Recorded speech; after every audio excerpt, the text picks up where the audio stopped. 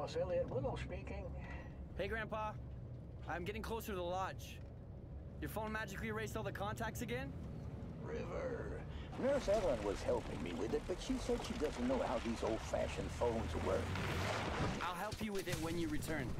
Oh, I'm so grateful you decided to help me with the Bear Den Ranch. Competition is growing every day. Ethically hunted meat with government inspection? Sounds like a pretty niche market. Yeah, you'd be surprised. But the demand is rising every day. And with the hoax about the disease spreading, Uh, what? I, I can't hear you.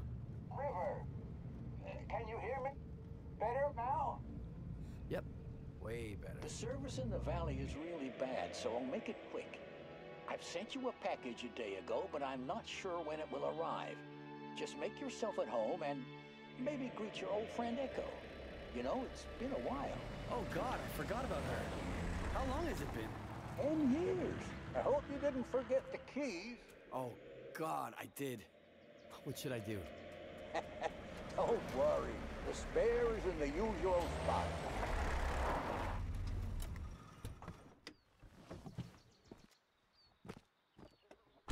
All right, I'm here. I'll call you later. And be nice to the nurses. Well, tell them to be nice to me. I'm always a gentleman. and kiddo, or I guess I should start calling you River now. Welcome to the Nez Perce Valley.